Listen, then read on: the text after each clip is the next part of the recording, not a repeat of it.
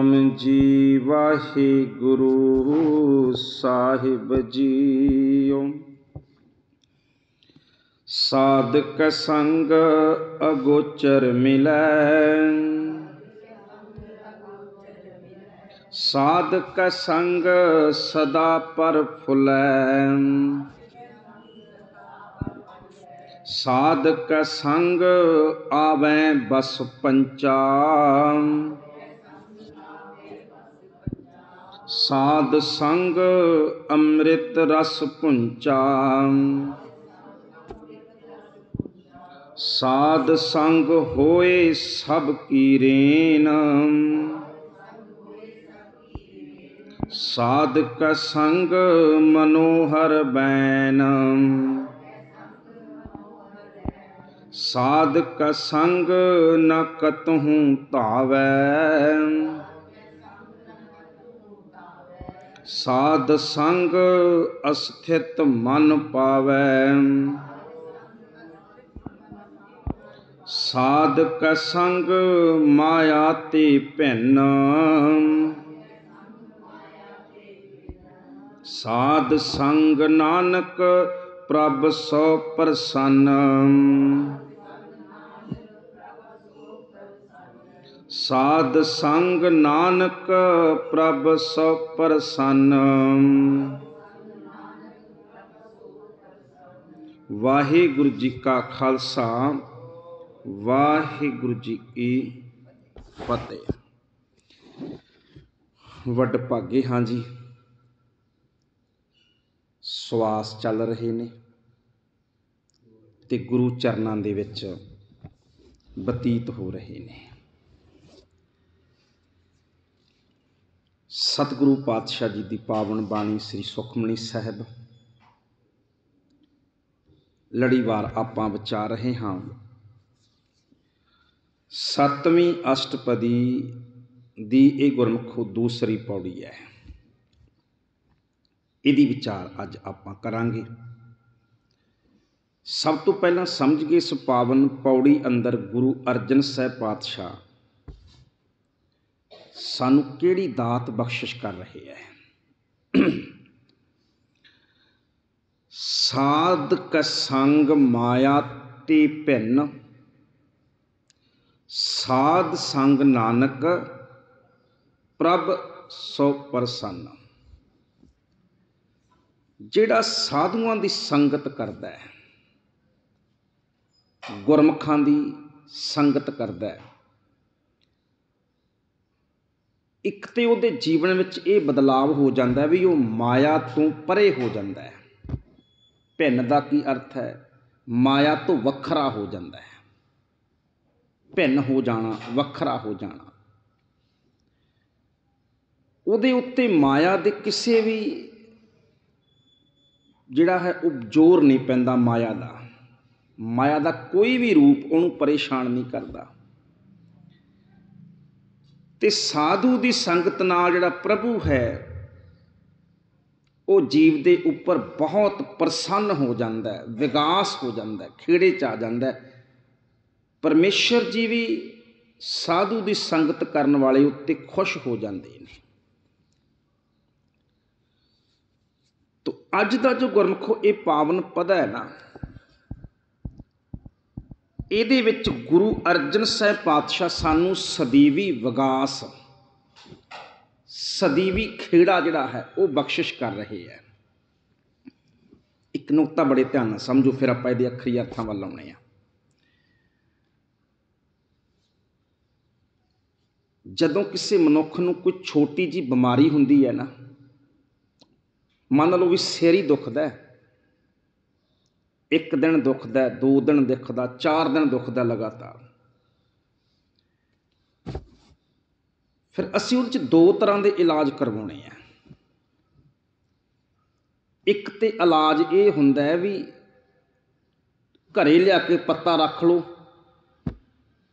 ਤੇ ਜਦੋਂ ਸਿਰ ਦੁਖਦਾ ਉਦੋਂ ਇੱਕ ਗੋਲੀ ਲੈ ਲਓ ਤੇ ਸਿਰ ਹਟ ਗਿਆ। ਦੂਜੇ ਦਿਨ ਫਿਰ ਦੁਖਿਆ ਫਿਰ ਗੋਲੀ ਲੈ ਲਈ, ਫਿਰ ਹਟ ਗਿਆ। ਤੀਜੇ ਦਿਨ ਫਿਰ ਸਿਰ ਦੁਖਿਆ, ਫਿਰ ਗੋਲੀ ਲਈ ਤੇ ਹਟ ਗਿਆ। ਇੱਕ ਤੇ ਇਲਾਜ ਇਹ ਹੁੰਦਾ ਵੀ ਜਦੋਂ ਸਿਰ ਦੁਖਦਾ, ਉਦੋਂ ਦਵਾਈ ਜੀ ਲੈ ਲਓ। ਇੱਕ ਇਹ ਹੁੰਦਾ ਵੀ ਇਹ ਪਤਾ ਕਰੋ ਵੀ ਦੁੱਖ ਕਿਉਂ ਰਿਹਾ। ਦਵਾਈ ਲੈਣ ਨਾਲ ਦਰਦ ਬੰਦ ਹੋ ਰਿਹਾ, ਅੰਦਰ ਦੀ ਬਿਮਾਰੀ ਥੋੜਾ ਖਤਮ ਹੋ ਰਹੀ ਹੈ। ਜਿਹੜੇ ਬਿਮਾਰੀ ਦੇ ਕਰਕੇ ਉਹ ਦੁੱਖ ਰਿਹਾ। ਹੈ ਇਸ ਕਰਕੇ ਸਿਆਣਾ ਉਹ ਹੁੰਦਾ ਜਿਹੜਾ ਕੇਵਲ ਸਿਰ ਦੁੱਖ ਦੀ, ਦਰਦ ਦੀ ਦਵਾਈ ਨਹੀਂ ਲੈਂਦਾ। ਸਿਰ ਕਿਉਂ ਦੁੱਖ ਰਿਹਾ ਹੈ? ਲਗਾਤਾਰ ਕਿਉਂ ਦੁੱਖ ਰਿਹਾ ਹੈ? ਇਹਦਾ ਕਾਰਨ ਕੀ ਹੈ? ਉਸ ਬਿਮਾਰੀ ਨੂੰ ਪਹਿਚਾਣੀਏ ਤੇ ਉਸ ਬਿਮਾਰੀ ਨੂੰ ਖਤਮ ਕਰੀਏ। ਜਦੋਂ ਬਿਮਾਰੀ ਖਤਮ ਹੋ ਗਈ ਤੇ ਸਿਰ ਦਰਦ ਆਪਣੇ ਆਪ ਹਟ ਜਾਣਾ। ਜਦ ਤੱਕ ਬਿਮਾਰੀ ਰਹੇਗੀ ਸਰੀਰ ਦੇ ਅੰਦਰ, ਦਰਦ ਦੀਆਂ ਦਵਾਈਆਂ ਜਿੰਨੀਆਂ ਮਰਜ਼ੀ ਲੈ ਲਈਏ ਜੜ ਤੱਕ ਦਵਾਈ ਦਾ ਅਸਰ ਹੈ, ਠੀਕ ਹੈ, ਫੇਰ ਦਰਦ ਸ਼ੁਰੂ ਹੋ ਜਾਣਾ ਸਿਆਣਾ ਉਹ ਹੁੰਦਾ ਹੈ ਜਿਹੜਾ ਦਰਦ ਨਹੀਂ ਠੀਕ ਕਰਦਾ, ਜਿਹੜਾ ਦਵਾਈ, ਜਿਹੜਾ ਰੋਗੀ, ਬਿਮਾਰੀ ਠੀਕ ਕਰਦਾ ਹੈ। ਗੁਰੂ ਜੀ ਨੇ ਨਾ ਜਿਹੜੇ, ਗੁਰੂ ਜੀ ਗੁਰਮਖੋ, ਸਾਡੇ ਜਿਹੜੇ ਅੰਦਰ ਦੇ ਰੋਗ ਨੇ ਨਾ, ਜਿਹੜੇ ਸਾਨੂੰ ਪਰੇਸ਼ਾਨ ਕਰਦੇ ਆ, ਅਸੀਂ ਅਸੀਂ ਉੱਪਰੋਂ ਉੱਪਰੋਂ ਮੰਗਦੇ ਆ ਗੁਰੂ ਕੋਲੋਂ। ਵੀ ਸਤਿਗੁਰੂ ਪਾਤਸ਼ਾਹ ਧਨ ਚਾਹੀਦਾ ਦਿਓ ਜੀ, ਮਿਲ ਗਿਆ। ਪਾਤਸ਼ਾਹ ਘਰ ਚਾਹੀਦਾ ਦਿਓ ਜੀ, ਵਾਹਿਗੁਰੂ ਜੀ, ਆ ਚਾਹੀਦਾ ਆ ਚਾਹੀਦਾ ਆ ਚਾਹੀਦਾ ਅੱਛਾ, ਉਹ ਮਿਲੀ ਜਾਂਦਾ ਹੈ। ਗੁਰੂ ਪਾਤਸ਼ਾਹ ਕਹਿੰਦੇ, ਅਸਲ ਵਿੱਚ ਇਹ ਇਹ ਹਰ ਵਕਤ ਪਦਾਰਥ ਹੀ ਮੰਗੀ ਜਾਣੇ, ਧਨ ਹੀ ਮੰਗੀ ਜਾਣਾ, ਤ੍ਰਿਸ਼ਨਾ ਹੀ ਮਨ ਚ ਪਾਲ ਕੇ ਰੱਖਣੀ, ਇਹ ਤਾਂ ਰੋਗ ਹੈ। ਤ੍ਰਿਸ਼ਨਾ ਹੈ ਨਾ ਇਹ। ਇਹਨੂੰ ਤ੍ਰਿਸ਼ਨਾ ਕਹਿੰਦੇ ਨੇ, ਹਰ ਵਕਤ ਮੰਗੀ ਜਾਣਾ। ਚੰਗਾ ਤੂੰ ਤਾਂ ਹੈ ਵੀ ਜਿਹੜੇ ਤੇਰੇ ਮੰਗਣ ਦੀ ਆਦਤ ਆ ਨਾ, ਇਸ ਆਦਤ ਨੂੰ ਖਤਮ ਕਰੇ। ਤੂੰ ਰੱਜ ਜਾਏ ਇੰਨਾ ਵੀ ਤੂੰ ਮੰਗਣ ਦੀ ਥਾਂ ਤੇ ਸ਼ੁਕਰਾਨਾ ਸ਼ੁਰੂ ਕਰ ਦੇਵੇਂ। ਸ਼ੁਕਰਾਨਾ ਕੀ ਹੈ ਮੰਗਣ ਦੀ ਥਾਂ ਤੇ ਧੰਨਵਾਦ ਸ਼ੁਰੂ ਕਰ ਦੇਣਾ। ਇਹੀ ਹੈ ਨਾ। ਸਬਰ ਸੰਦੋਖ ਕੀ ਹੈ? ਬੰਦਾ ਸੰਤੋਖੀ ਹੋ ਗਿਆ। ਅਰਥ ਕੀ ਬਣਿਆ ਵੀ ਹੁਣ ਮੰਗ ਨਹੀਂ ਰਿਹਾ। ਇਹਦੀ ਤ੍ਰਿਸ਼ਨਾ ਮਿਟ ਗਈ ਹੈ, ਇਹ ਰੱਜ ਗਿਆ। ਹੁਣ ਜੋ ਇਹਦੇ ਕੋਲੇ ਹੈ, ਉਹਦਾ ਧੰਨਵਾਦ ਕਰਦਾ ਹੈ। ਇਹਨੂੰ ਕਹਿੰਦੇ ਨੇ ਗੁਰਮਖੋ ਸਦੀਵੀ ਖੇੜਾ। ਮੰਗ ਦਾ ਪੂਰਾ ਹੋ ਜਾਣ ਵਿੱਚ ਖੁਸ਼ੀ ਨਹੀਂ ਹੈ। ਜਦੋਂ ਮਨ ਰੱਜ ਜਾਏ, ਇਹਦਾ ਅਰਥ ਹੁਣ ਖੁਸ਼ ਹੋ ਗਿਆ। ਗੁਰੂ ਤੇਰੇ ਮਨ ਨੂੰ ਰਜਾਉਂਦਾ ਹੈ। ਤ੍ਰਿਸ਼ਨਾ ਖਤਮ ਕਰਦਾ ਹੈ। ਜੋ ਹੈ ਬਸ ਪਰਮਾਤਮਾ ਦਾ ਸ਼ੁਕਰਾਨਾ ਹੀ ਕਰੇਗਾ। ਤੋ ਗੁਰੂ ਜੀ ਸਾਡੀਆਂ ਇਸ਼ਾਵਾਂ ਦੀ ਪੂਰਤੀ ਨਹੀਂ ਕਰਦੇ, ਗੁਰੂ ਜੀ ਸਾਨੂੰ ਰੱਜ ਦਿੰਦੇ ਨੇ, ਸਾਨੂੰ ਸਬਰ ਦਿੰਦੇ ਨੇ। ਤੂੰ ਰੱਜ ਜਾਏ, ਤੂੰ ਸਦਾ ਖੁਸ਼ ਰਹੇ, ਤੂੰ ਖੇੜੇ ਦੇ ਵਿੱਚ ਰਹੇ। ਤੋ ਗੁਰੂ ਅਰਜਨ ਸਾਹਿਬ ਪਾਤਸ਼ਾਹ ਕਹਿੰਦੇ, ਭਾਈ, ਗੁਰਮਖਾਂ ਦੀ ਸੰਗਤ, ਜਪਣ ਵਾਲਿਆਂ ਦੀ ਸੰਗਤ ਕਰਨ ਦੇ ਨਾਲ ਜ਼ਿੰਦਗੀ 'ਚ ਕੀ ਬਦਲਾਵ ਆਉਂਦਾ ਸਾਧਕ ਸੰਗ, ਅਗੋਚਰ ਮਿਲੈ। ਅਗੋਚਰ ਕੀ ਹੁੰਦਾ ਹੈ? ਅਗੋਚਰ ਹੁੰਦਾ ਹੈ ਅਪਹੁੰਚ। ਜਿਸ ਤੱਕ ਅਪਹੁੰਚ, ਗਿਆਨ ਇੰਦਰੀਆਂ ਦੀ ਪਹੁੰਚ ਨਹੀਂ ਹੈ, ਉਹ ਪ੍ਰਮਾਤਮਾ ਵਾਹਿਗੁਰੂ ਸਾਧੂਆਂ ਦੀ ਸੰਗਤ, ਗੁਰਮਖਾਂ ਦੀ ਸੰਗਤ ਕਰੀਏ ਅਪਹੁੰਚ ਪਰਮਾਤਮਾ ਦੇ ਕੋਲ ਪਹੁੰਚ ਜਾਈਦਾ ਉਹਦੇ ਨਾਲ ਮਿਲਾਪ ਹੋ ਜਾਂਦਾ ਹੈ। ਸਾਧਕ ਸੰਗ ਸਦਾ ਪਰਫੁੱਲੈ ਆ ਕੀਮਤੀ ਸ਼ਬਦ ਹੈ ਬਹੁਤ। ਸਦਾ ਪਰਫੁੱਲੈ ਪਰਫੁੱਲੈ ਕੀ ਹੁੰਦਾ? ਖਿੜਿਆ ਰਹਿਣਾ ਪਰਫੁੱਲਤ ਖਿੜਿਆ ਰਹਿਣਾ। ਜਿਹੜਾ ਸਾਧੂ ਦੀ ਸ- ਗੁਰਮਖਾਂ ਦੀ ਸੰਗਤ ਕਰਦਾ ਹੈ ਨਾ ਉਹ ਜ਼ਿੰਦਗੀ 'ਚ ਸਦਾ ਇਦਾਂ ਖਿੜਿਆ ਰਹਿੰਦਾ ਹੈ ਇਦਾਂ ਖੁਸ਼ ਰਹਿੰਦਾ ਹੈ, ਪ੍ਰਸੰਨ ਹੀ ਰਹਿੰਦਾ ਉਹਦੀ ਜ਼ਿੰਦਗੀ 'ਚ ਇਹ ਨਹੀਂ ਵੀ 2-4 ਮਿੰਟ ਦੇ ਹਾਸੇ ਨੇ। ਇਹ ਨਹੀਂ ਹੈ ਵੀ 2-4 ਮਿੰਟਾਂ ਦੀ ਖੁਸ਼ੀ ਹੈ। ਉਹਦੀ ਜ਼ਿੰਦਗੀ 'ਚ ਸਦਾ ਹੀ ਖੁਸ਼ੀ ਹੈ, ਉਹ ਸਦਾ ਹੀ ਖੇੜੇ ਦੇ ਵਿੱਚ ਹੈ, ਸਦਾ ਹੀ ਹੱਸਦਾ ਹੀ ਰਹਿੰਦਾ ਹੈ ਇਦਾਂ ਇਹ ਇਹ ਜ਼ਿੰਦਗੀ ਹੈ ਗੁਰਮੁਖੋ। ਗੁਰੂ ਜੀ, ਜੇ ਅਸੀਂ ਸੱਚਮੁੱਚ ਸਾਡੇ ਇਤਿਹਾਸ ਨੂੰ ਸਮਝ ਲਈਏ ਨਾ ਤੇ ਗੁਰਬਾਣੀ ਨੂੰ ਸਮਝ ਲਈਏ। ਤੇ ਅਖੀਰ, ਜਿਹੜਾ ਅਖੀਰਲਾ ਨੁਕਤਾ ਹੈ ਨਾ, ਸਭ ਤੋਂ ਇੱਕ ਲੋ ਨਿਚੋੜ ਹੈ ਬਾਣੀ ਦਾ। ਉਹ ਇਹ ਹੈ ਵੀ ਗੁਰੂ ਪਰਮੇਸ਼ਰ ਦਾ ਸਿਮਰਨ ਮਨੁੱਖ ਨੂੰ ਸਦੀ ਵੀ ਵਿਗਾਸ ਦਿੰਦਾ ਹੈ ਸਦੀਵੀ ਖੁਸ਼ੀ ਦਿੰਦਾ ਹੈ। ਜਿਹੜਾ ਮਨੁੱਖ ਪਰਮਾਤਮਾ ਨਾਲ ਜੁੜਿਆ ਹੋਇਆ, ਉਹ ਖੁਸ਼ ਹੀ ਰਹਿੰਦਾ, ਉਹਨੂੰ ਕੋਈ ਦੁਨੀਆ ਦੀ ਕੋਈ ਤਾਕਤ ਦੁਖੀ ਨਹੀਂ ਕਰ ਸਕਦੀ। ਇਹ ਹੈ, ਸਦਾ ਹੀ ਖੁਸ਼ ਰਹਿਣਾ। ਗੁਰੂ ਤੇਗ ਬਹਾਦਰ ਸਾਹਿਬ ਦੀ ਬਾਣੀ ਪੜ੍ਹਦੇ ਹਾਂ। ਗੁਰਮੁਖੋ, ਮੈਂ ਕਈ ਵਾਰ ਮਨ ਕਰ ਮਨ 'ਚ ਸੋਚਦਾ ਹੁੰਨਾ ਵੀ ਜਿੰਨੀ ਚੜ੍ਹਦੀ ਕਲਾ ਨਾ, ਇੱਕ ਸ਼ਬਦ ਸਾਨੂੰ ਬਖਸ਼ਿਆ ਚੜ੍ਹਦੀ ਕਲਾ। ਇਹਨੂੰ ਕਹਿੰਦੇ ਇੰਗਲਿਸ਼ ਵਿੱਚ ਕਹਿੰਦੇ ਨੇ ਪੋਜ਼ਿਟਿਵ ਐਟੀਟਿਊਡ ਸਦਾ ਹੀ ਸਦਾ ਹੀ ਇਦਾਂ ਅੱਗੇ ਨੂੰ ਚੱਲਣਾ ਇਦਾਂ ਨਕਾਰਾਤਮਕ ਸੋਚਣਾ ਹੀ ਨਹੀਂ ਕਦੇ। ਵੀ ਬੁਰਾ ਵੀ ਹੁੰਦਾ ਇਦਾਂ ਸੋਚਣਾ ਹੀ ਨਹੀਂ ਕਦੇ। ਚੰਗਾ ਹੀ ਸੋਚਣਾ ਬਸ। ਜੇ ਜੇ ਕਦੇ ਲੱਗਿਆ ਨਾ ਮਨ ਨੂੰ ਵੀ ਆਹ ਬੁਰਾ ਹੋ ਗਿਆ ਲੱਗਦਾ ਨਾ ਕਈ ਵਾਰ ਮਨ ਨੂੰ ਵੀ ਆਹ ਬੁਰਾ ਹੋ ਗਿਆ। ਸੋਚਣਾ ਵੀ ਇਹਦੇ ਵਿੱਚ ਕੁਝ ਚੰਗਾ ਜ਼ਰੂਰ ਹੈ। ਇਦਾਂ ਕੁਛ ਨਾ ਕੁਛ ਰਮਜ ਹੈ ਪਰਮਾਤਮਾ ਦੀ। ਇੱਕ ਦਰਵਾਜ਼ਾ ਬੰਦ ਹੋਇਆ ਤੇ ਪਰਮਾਤਮਾ ਨੇ ਦੂਜਾ ਦਰਵਾਜ਼ਾ ਖੋਲ੍ਹਿਆ ਅਜੇ ਮੇਰੀ ਉਸ ਖੁੱਲੇ ਹੋਏ ਦਰਵਾਜ਼ੇ ਵੱਲ ਸੁਰਤ ਨਹੀਂ ਜਾ ਰਹੀ। ਅਜੇ ਬੰਦ ਹੋਏ ਵਾਲੀ ਧਿਆਨ ਹੈ ਕੱਲਾ ਕੋਈ ਨਵਾਂ ਖੋਲ੍ਹਿਆ ਦਰਵਾਜ਼ਾ ਪਰਮਾਤਮਾ ਨੇ, ਹੁਣ ਧਿਆਨ ਉਧਰ ਨੂੰ ਕਰਾਂ। ਇਦਾਂ, ਇਹਨੂੰ ਕਹਿੰਦੇ ਨੇ ਚੜ੍ਹਦੀ ਕਲਾ। ਚੜ੍ਹਦੀ ਕਲਾ ਸਿੱਖਾਂ ਦੀ ਇੱਕ ਨਾ ਸਦੀਵੀ ਤਾਕਤ ਹੈ। ਭਾਈ ਸਾਹਿਬ, ਭਾਈ ਵੀਰ ਸਿੰਘ ਨੇ ਗੁਰਮਖੋ, ਉਹਨਾਂ ਨੂੰ ਪੁੱਛਿਆ ਸੀ ਕਿਸੇ ਨੇ, ਭਾਈ ਸਾਹਿਬ, ਸਿੱਖੀ ਕੀ ਹੈ? ਸਿੱਖੀ ਦੀ ਬੜੀ ਡੈਫੀਨੇਸ਼ਨ ਬੜੀਆਂ ਪਰਿਭਾਸ਼ਾਵਾਂ ਹੋ ਸਕਦੀਆਂ ਨੇ ਸਿੱਖੀ ਦੀਆਂ। ਪਰ ਜਿਹੜੀ ਸਿੱਖੀ ਦੀ ਪਰਿਭਾਸ਼ਾ ਭਾਈ ਵੀਰ ਸਿੰਘ ਨੇ ਦਿੱਤੀ ਨਾ, ਉਹ ਬਾ ਕਮਾਲ ਹੈ। ਭਾਈ ਵੀਰ ਸਿੰਘ ਕਹਿੰਦੇ, ਸਿੱਖੀ ਹੈ ਬਲਵਾਨ ਕਰਨਾ ਸੁਰਤ ਨੂੰ। ਆ ਹੈ ਸਿੱਖੀ। ਸਿੱਖੀ ਹੈ, ਕੀ ਹੈ ਸਿੱਖੀ? ਬਲਵਾਨ ਕਰਨਾ ਸੁਰਤ ਨੂੰ, ਆਪਣੀ ਸੁਰਤ ਨੂੰ ਬਲਵਾਨ ਕਰਨਾ, ਤਾਕਤਵਰ ਕਰਨਾ, ਇਹ ਸਿੱਖੀ ਹੈ। ਚੜ੍ਹਦੀ ਕਲਾ ਨਿਵਾਸ ਸਦ ਹੀ ਰੱਖਣਾ। ਆਪਣਾ ਨਿਵਾਸ, ਆਪਣਾ ਟਿਕਾਣਾ ਸਦਾ। ਚੜ੍ਹਦੀ ਕਲਾ ਵਿੱਚ ਰੱਖਣਾ ਤੇ ਸਦਾ ਹੀ ਸੁਰਤ ਨੂੰ ਬਲਵਾਨ ਕਰਨਾ, ਸੁਰਤ ਨੂੰ ਤਾਕਤਵਰ ਕਰਨਾ, ਇਹ ਇਹ ਸਿੱਖੀ ਦੀ ਨਿਸ਼ਾਨੀ ਹੈ ਕਿ ਸਿੱਖ ਸਦਾ ਆਪਣੀ ਸੁਰਤ ਨੂੰ ਉੱਚਾ ਰੱਖਦਾ ਹੈ, ਸਦਾ ਬਲਵਾਨ ਰੱਖਦਾ ਹੈ, ਉਦਾਸ ਨਹੀਂ ਹੁੰਦਾ, ਸਦਾ ਚੜ੍ਹਦੀ ਕਲਾ 'ਚ ਆਪਣਾ ਨਿਵਾਸ ਰੱਖਦਾ ਹੈ। ਸੱਚ ਹੈ ਗੁਰਮੁਖੋ, ਤੁਸੀਂ ਗੁਰੂ ਤੇਗ ਬਹਾਦਰ ਸਾਹਿਬ ਦੀ ਬਾਣੀ ਪੜੋ ਕਈ ਕਈ ਤਾਂ ਨਾ ਸਾਡੇ ਇਦਾਂ ਕਥਾਕਾਰ ਵੀ ਜਾਂ ਖਾਸ ਕਰ ਕੀਰਤਨਕਾਰ ਜੀ, ਆਓ ਜੀ ਗੁਰੂ ਤੇਗ ਬਹਾਦਰ ਸਾਹਿਬ ਜੀ ਦੀ ਵਿਰਾਗਮਈ ਬਾਣੀ ਦਾ ਕੀਰਤਨ ਕਰਦੇ ਆ ਇਦਾਂ ਵੀ ਉਹਨਾਂ ਦੀ ਬਾਣੀ ਖੜੀ ਸਾਨੂੰ ਦੁੱਖ ਹੀ ਚੇਤੇ ਕਰਵਾਉਂਦੀ, ਲੱਗਦਾ ਇਦਾਂ ਵੀ ਮੌਤ ਮੌਤ ਨਹੀਂ ਚੇਤੇ ਕਰਾਉਂਦੀ। ਅਸਲ ਜੇ ਸਮਝ ਲਈਏ ਨਾ, ਗੁਰੂ ਤੇਗ ਬਹਾਦਰ ਸਾਹਿਬ ਦੀ ਬਾਣੀ ਸਾਨੂੰ ਚੜ੍ਹਦੀ ਕਲਾ ਸਿਖਾਉਂਦੀ ਹੈ। ਚੜ੍ਹਦੀ ਕਲਾ ਕੀ ਹੈ? ਜੋ ਨਾਲ ਦੁੱਖ ਮੈਂ ਦੁੱਖ ਨਹੀਂ ਮਨ। ਹੈ ਇਹ ਚੜ੍ਹਦੀ ਕਲਾ ਹੈ ਨਾ। ਦੁੱਖ ਤਾਂ ਹੈ, ਪਰ ਪ੍ਰਵਾਣੀ ਨਹੀਂ ਹੈ। ਇਹ ਕੀ ਹੁੰਦਾ ਦੁੱਖ? ਜੋ ਨਰ ਦੁੱਖ ਮੈਂ ਦੁੱਖ ਨਹੀਂ ਮੰਨੈ, ਸੁਖ ਸਨੇ ਅਰ ਭੈ ਨਹੀਂ ਜਾਕੈ। ਨਿਰਭਉਤਾ ਇਦਾਂ ਡਰ ਹੀ ਨਹੀਂ ਰੱਖਣਾ ਮਨ ਵਿੱਚ। ਕੰਚਨ ਮਾਟੀ ਮੰਨੈ ਇਦਾਂ ਸੋਨੇ ਨੂੰ ਤੇ ਮਿੱਟੀ ਨੂੰ ਇੱਕ ਸਮਾਨ ਹੀ ਮੰਨਣਾ। ਕੀ ਹੋ ਗਿਆ ਜੇ ਗਵਾਚ ਗਿਆ? ਕੀਮਤੀ ਮਿੱਟੀ ਸੀ ਇਹ ਵੀ। ਇਦਾਂ ਇਦਾਂ ਕਹਿਣਾ। ਇਸੇ ਤਰ੍ਹਾਂ ਦੁੱਖ ਸੁੱਖ ਸੁੱਖ ਦੁੱਖ ਦੋਨੋਂ ਸਮ ਕਰ ਜਾਣਾ ਇਹ ਚੜ੍ਹਦੀ ਕਲਾ ਦਾ ਪ੍ਰਤੀਕ ਹੈ। ਸੁੱਖ, ਦੁੱਖ ਦੋਨੋਂ ਸਮ ਕਰ ਜਾਣਾ ਔਰ ਮਾਨ ਅਪਮਾਨਾ। ਹੁਣ ਸਾਡੀ ਤਾਂ ਹਾਲਤ ਇਹ ਹੈ ਵੀ ਜੇ ਕਿਸੇ ਨੇ ਚਾਰ ਗੱਲਾਂ ਸਿਫਤ ਦੀਆਂ ਕਹਿਤੀਆਂ ਤੇ ਇਦਾਂ ਫੁੱਲ ਜਾਂਦੇ ਆ, ਜੇ ਕਿਸੇ ਨੇ ਕੌੜੀਆਂ ਕਹਿਤੀਆਂ ਤੇ ਦੁਖੀ ਹੋ ਜਾਂਦੇ ਆ।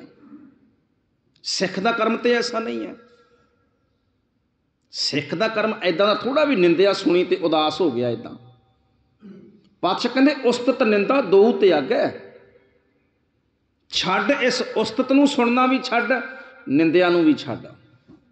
ਦੋਨਾਂ ਤੋਂ ਬੇਪਰਵਾਹ ਹੋ ਜਾਏ ਤਾਂ। ਦੇਖੋ ਮੇਰੇ ਇੱਕ ਸੱਜਣ ਸੀ, ਬੰਬੇ ਵਿੱਚ ਮੈਂ ਗਿਆ 8 2008-9 ਦੇ ਵਿੱਚ। ਉੱਥੇ ਨਾ ਮੈਨੂੰ ਕੋਈ ਇਦਾਂ ਦਾ ਗੁਰਮੁਖ ਮਿਲਿਆ 90 ਸਾਲ ਦੀ ਉਮਰ ਸੀ ਉਹਦੀ। ਤੇ ਚਿਹਰਾ ਉਹਦਾ ਇਦਾਂ ਵੀ ਜਿਵੇਂ ਇੱਕ ਨਵੇਂ ਜੰਮੇ ਬੱਚੇ ਦਾ ਹੁੰਦਾ ਹੈ। ਇੱਦੀ ਮਾਸੂਮੀਅਤ ਤੇ ਬੜੀ ਬੰਦਗੀ ਕਰਦਾ ਸੀ। ਉਹਨੇ ਦਾਵਾ ਕੀਤਾ, ਕਹਿੰਦਾ ਜੀ, ਮੈਂ ਰੂਹਾਂ ਦੇਖੀਆਂ ਹੁਣ, ਇਹ ਇਹ ਉਹਦੀ ਅਵਸਥਾ ਸੀ ਆਪਣੀ। ਮੈਂ ਨਹੀਂ ਕਹਿੰਦਾ ਵੀ ਸਹੀ ਸੀ ਕਿ ਗਲਤ ਸੀ। ਤਾਂ ਉਹਦੇ ਕੋਲੇ ਮੈਂ, ਉਹਦੀ ਸੰਗਤ ਬਹੁਤ ਕੀਤੀ ਮੈਂ ਇਦਾਂ ਉਹ ਕੱਲਾ ਰਹਿੰਦਾ ਸੀ ਕੱਲੀ ਬਸ ਬਾਣੀ ਪੜਦਾ ਸੀ ਇਦਾਂ ਤੇ ਇਦਾਂ ਲੋਕ ਆਉਂਦੇ ਸੀ, ਦਰਸ਼ਨ ਕਰਦੇ ਸੀ, ਉਸ ਇਦਾਂ ਸੀ ਜੀਵਨ ਉਹਦਾ। ਤਾਂ ਉਹਦੇ ਕੋਲੋਂ ਮੈਂ ਇੱਕ ਦਿਨ ਬੈਠਾ, ਮੈਨੂੰ ਹਜੇ ਵੀ ਉਹਦੇ ਬਚਨ ਯਾਦ ਨੇ। ਛੋਟਾ ਸੀ ਮੈਂ ਤੇ ਮੈਂ ਕਹਿਣ ਲੱਗਾ, ਮੈਂ ਕਿਹਾ ਜੀ ਸਿੱਖੀ ਕੀ ਹੈ? ਸਿੱਖ ਕਿਉਂ ਬਣੀਏ ਇਦਾਂ ਮੈਂ ਉਹਨੂੰ ਇਦਾਂ ਹੀ ਛੋ- ਸਵਾਲ ਛੋਟਾ ਜਿਹਾ ਕੀਤਾ। ਮੈਨੂੰ ਕਹਿੰਦਾ, ਪੁੱਤਰ ਵੀ ਸਿੱਖੀ ਪਤਾ ਕੀ ਹੈ? ਤੁਹਾਡਾ ਦੁਸ਼ਮਣ ਤੁਹਾਨੂੰ ਦੁਖੀ ਕਰਨਾ ਚਾਹੁੰਦਾ ਹੈ। ਉਹਨੇ ਉਹਨੇ ਬੜੀ ਕਮਾਲ ਦੀ ਕੀਤੀ ਵਿਆਖਿਆ ਸਿੱਖੀ ਦੀ। ਤੁਹਾਡਾ ਦੁਸ਼ਮਣ ਤੁਹਾਨੂੰ ਦੁਖੀ ਕਰਨਾ ਚਾਹੁੰਦਾ ਹੈ, ਦੁਖੀ ਦੇਖਣਾ ਚਾਹੁੰਦਾ ਹੈ।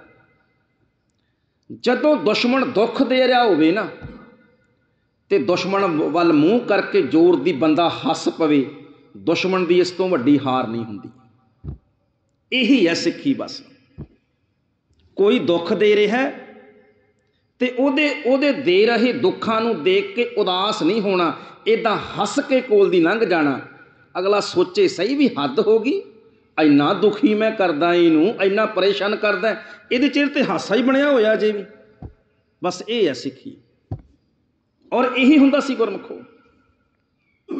ਅਸੀਂ ਆਪਣੇ ਇਤਿਹਾਸ ਨੂੰ ਪੜ੍ਹੀਏ, ਤਾਂ ਸਾਡੇ ਬਜ਼ੁਰਗ ਇਦਾਂ ਦੇ ਹੀ ਸਨ। ਤੁਸੀਂ ਦੇਖੋ ਨਾ, ਮੀਰ ਮੰਨੂ ਦੀ ਜੇਲ੍ਹ, ਆਪਾਂ ਕਈ ਵਾਰ ਕੀਤੀ ਆ ਉਹ ਵਿਚਾਰ।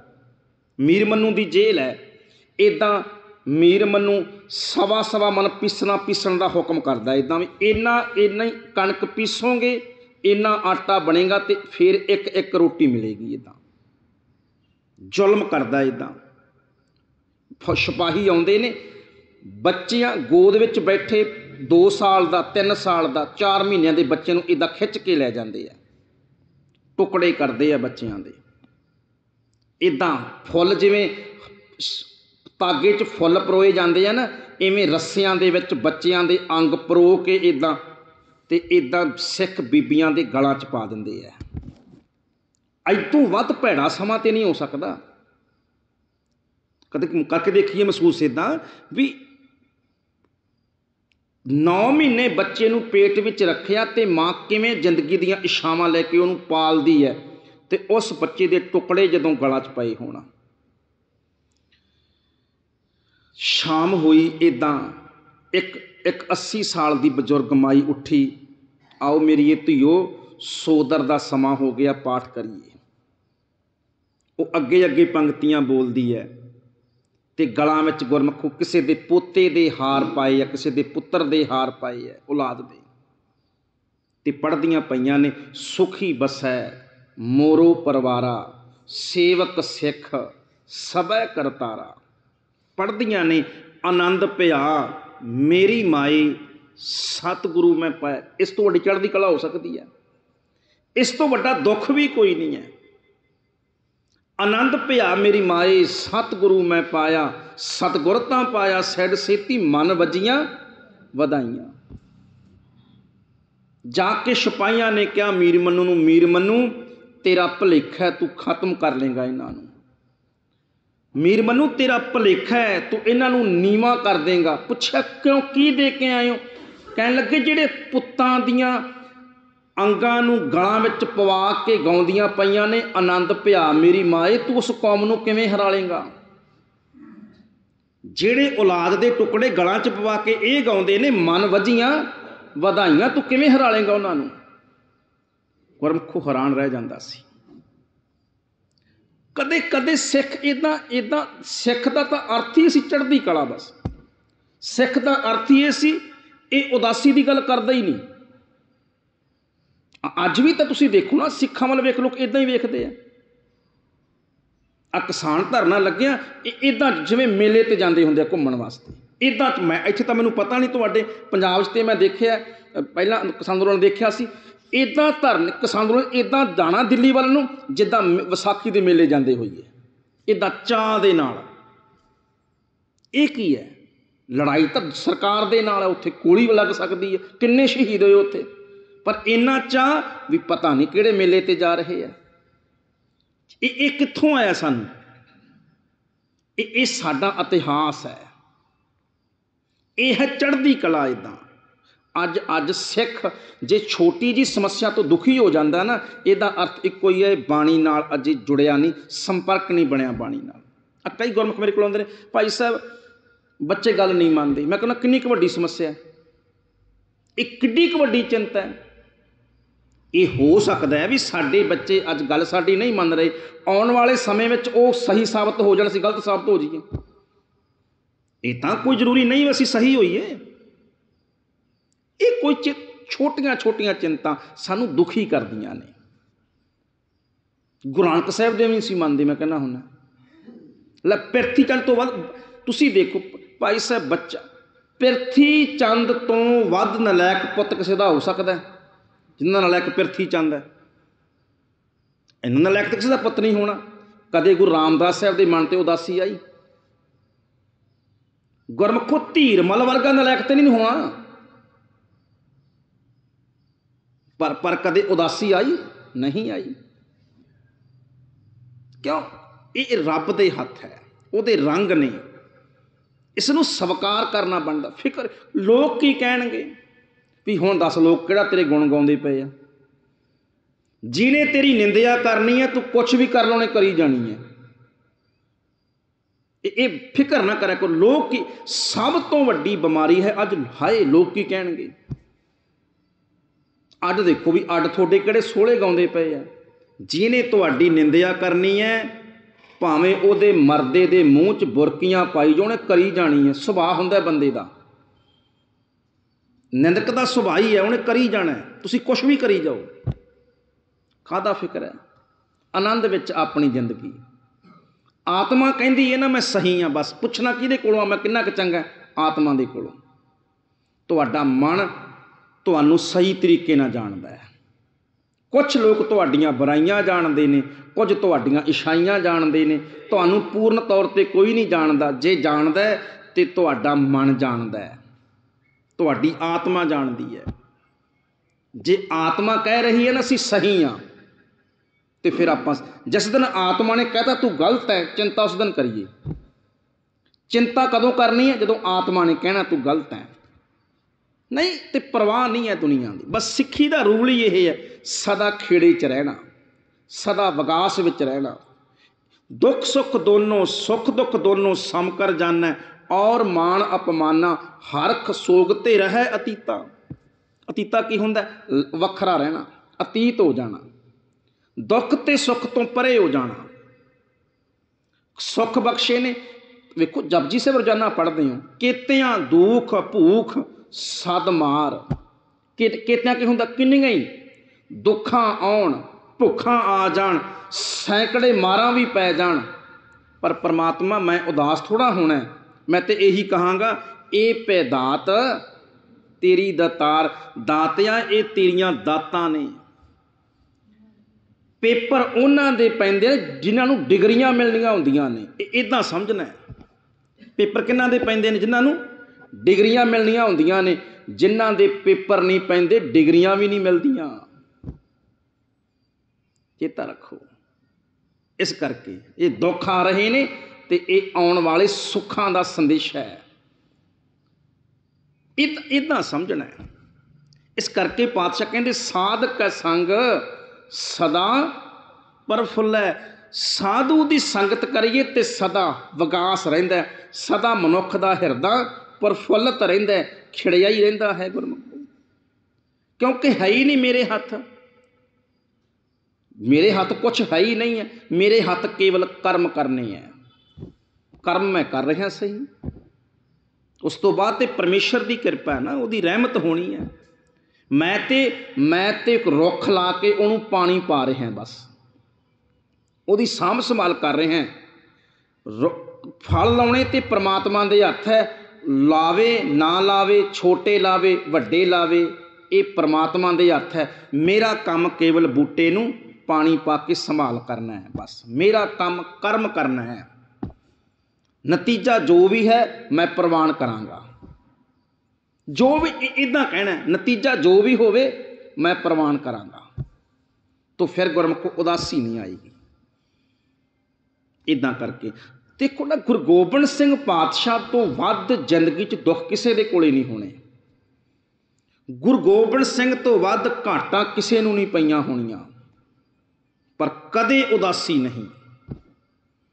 ਔਰੰਗਜ਼ੇਬ, ਤੂੰ ਤੂੰ ਆਨੰਦਪੁਰ ਉਜਾੜਿਆ, ਤੂੰ ਮੇਰੇ ਲੱਖਾਂ ਮਾਰ ਦਿੱਤੇ, ਸ਼ਹੀਦ ਕਰ ਦਿੱਤੇ, ਪਰ ਤੂੰ ਹਾਰ ਗਿਆ, ਮੈਂ ਜਿੱਤਿਆ ਤਾਂ ਹੀ ਤੇ ਔਰੰਗਜ਼ੇਬ ਜਫਰਨਾਮਾ ਪੜ੍ਹਦਾ, ਉੱਠਿਆ ਹੀ ਨਹੀਂ ਮੰਜੇ ਤੋਂ। ਉਜਾੜਨਾ ਚਾਹੁੰਦਾ ਸੀ ਗੁਰੂ ਗੋਬਿੰਦ ਸਿੰਘ ਪਾਤਸ਼ਾਹ ਨੂੰ। ਜੋ ਚਿੱਠੀ ਲਿਖੀ, ਜਿਹੜੀ ਜਿਹੜੀ ਚੀਜ਼ ਔਰੰਗਜ਼ੇਬ ਦੇ ਲੱਖਾਂ ਤੀਰ ਨਹੀਂ ਨਾ ਕਰ ਸਕੇ, ਗੁਰੂ ਗੋਬਿੰਦ ਸਿੰਘ ਦੀ ਇੱਕ ਚਿੱਠੀ ਨੇ ਔਰੰਗਜ਼ੇਬ ਨੂੰ ਨੀਵਾ ਕਰ ਦਿੱਤਾ। ਹੱਦ ਹੋ ਗਈ। ਕੋਈ ਇੰਨਾ ਇੰਨਾ ਕੁਝ ਉਜੜਨ ਤੋਂ ਬਾਅਦ ਵੀ ਕੋਈ ਇਦਾਂ ਦਾ ਹੋ ਸਕਦਾ ਇਦਾਂ ਉਹ ਸੋਚਿਆ ਦਿਮਾਗ ਚੋਂ ਨੇ, ਹੈ? ਇੰਨੀਆਂ ਘਾਟਾਂ, ਇੰਨੀਆਂ ਮਾਰਾਂ ਤੋਂ ਬਾਅਦ ਵੀ ਕੋਈ ਇੰਨਾ ਚੜ੍ਹਦੀ ਕਲਾ 'ਚ ਹੋ ਸਕਦਾ ਹੈ। ਔਰੰਗਜ਼ੇਬ ਹੈਰਾਨ ਰਹਿ ਗਿਆ ਸੀ ਇਦਾਂ ਬਸ ਇਹੀ ਇਹੀ ਚੜ੍ਹਦੀ ਕਲਾ ਦੁਸ਼ਮਣਾਂ ਨੂੰ ਗੁਰਮੁਖੋਂ ਨੀਵਾ ਕਰ ਦਿੰਦੀ ਹੈ ਬੰਦੇ ਸਾਹਮਣੇ। ਸਾਧਕ ਸੰਗ ਆਵੇਂ ਬਸ ਪੰਚਾ। ਪੰਜੇ ਵਕਾਰ ਨੇ ਜਿਹੜੇ ਵਸ ਵਿੱਚ ਆ ਜਾਂਦੇ ਆ ਜੇ ਤੂੰ ਸਾਧੂਆਂ ਦੀ ਸੰਗਤ ਗੁਰਮੁਖਾਂ ਦੀ ਸੰਗਤ ਕਰੇਗਾ। ਆਵੇਂ ਬਸ ਪੰਚਾ, ਪੰਜੇ ਵਕਾਰ, ਕਾਮ, ਕ੍ਰੋਧ, ਲੋਭ, ਮੋਹ, ਹੰਕਾਰ। ਵਸ ਵਿੱਚ ਹੋ ਜਾਂਦੇ ਨੇ। ਅਰਥ ਕੀ ਹੈ? ਪਰੇਸ਼ਾਨ ਕਰਨ ਨੂੰ ਬੰਦ ਕਰ, ਗੁਲਾਮ ਹੋ ਜਾਂਦੇ ਨੇ ਨਾ। ਇਹ ਪੰਜੇ ਵਕਾਰ ਤੈਨੂੰ ਕਦੋਂ ਦੁਖੀ ਕਰਦੇ ਨੇ? ਜਦੋਂ ਤੂੰ ਇਹਨਾਂ ਦੇ ਵਸ ਵਿੱਚ ਹੋ ਜਾਵੇਂ।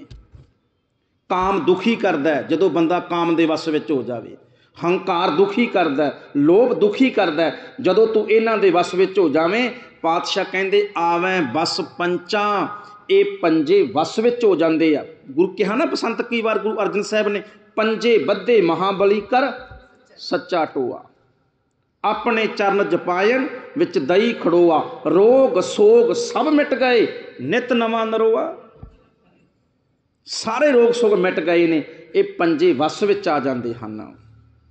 ਸਾਧ ਸੰਗ ਅੰਮ੍ਰਿਤ ਰਸ ਪੁੰਚਾ ਪੁੰਚਾ ਹੁੰਦਾ ਚੱਖ ਲੈਣਾ, ਛਕ ਲੈਣਾ।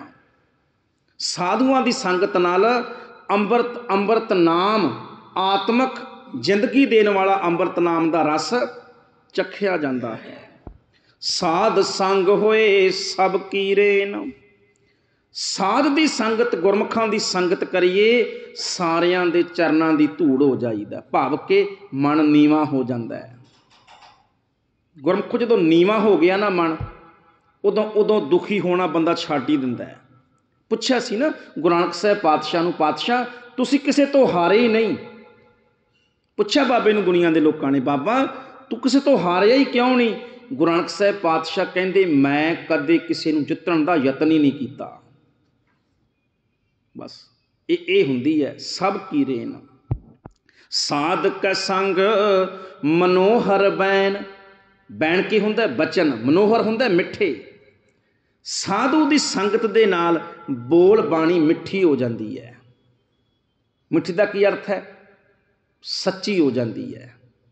ਜ਼ਿੰਦਗੀ ਦੇਣ ਵਾਲੀ ਹੋ ਜਾਂਦੀ ਹੈ।